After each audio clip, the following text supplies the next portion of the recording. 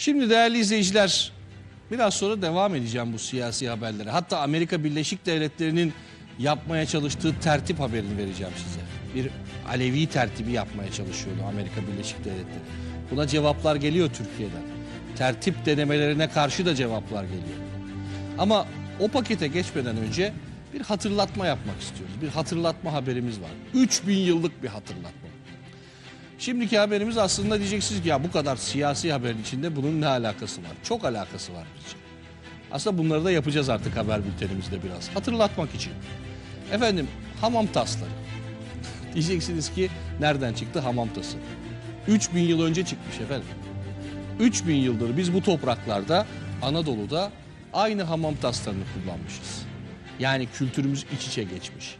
Bizi ayırt etmek isteyenler, bizi bölmek isteyenler, bizi parçalamak isteyenlere en net cevap tarihten geliyor. Tarihsel gerçeklik haberi sunmak için aslında bu haberi buraya koyuyoruz. 3000 yıldır bu topraklarda aynı tas, aynı hamam. Bozmaya çalışanlar hep yenilecekler. Yenilmeye devam edecekler. Yenildiler çünkü. Haberi bir izleyelim. Aslında bizde kışkırtma yapmaya çalışanlar da izlesinler. Ne demek istediğimizi daha belki iyi anlarlar ne bilelim. Tamam taslarının hikayesi 3000 yıl öncesine dayanıyor. Yani eski Helenistik Roma uygarlıkları zamanına dayanıyor. Dile kolay. Tam 3000 yıl. Onfoloslu fiyale. Türkçesi göbekli tas. Bu tas antik çağda tanrıların elinde resmedilmişti. Gördüğünüz gibi aynısı plastikten yapmışlar. Bugün günümüzde bu plastik örnekler kullanılıyor halen. Arkeolog ve kültür tarihçi Profesör Doktor Recep Meriç'e göre eski çağdan günümüze Anadolu coğrafyasında aynı hamam tası kullanılıyor. Tüm tanrılar bu göbekli tastan kullanırlar ve bunu sunu, sunu amaçlı kullanırlar. Yani her dini törenlerde insanlara sağlık, dirilik, temizlik getirsin diye Sıhhatler olsun sözü de buradan geliyor. sıhhat konusu oradan geliyor. Ee, hamam da bu Higeia dediğimiz As- Asklepios kültü var. Asklepios sağlık tanrısıdır. O Higeia da e, bizim hijyen dediğimiz sağlıktır.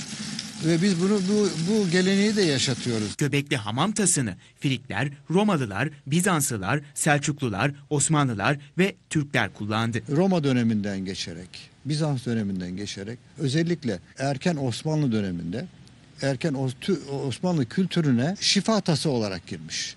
Aynı göbekli tası görüyoruz. 3000 yıl önce onfoloslu fiyaleden yani göbekli tastan kutsanmış su dökülerek şifa dağıtıldığına inanılıyordu. Türkler de göbekli tasın içine ayetler yazdı.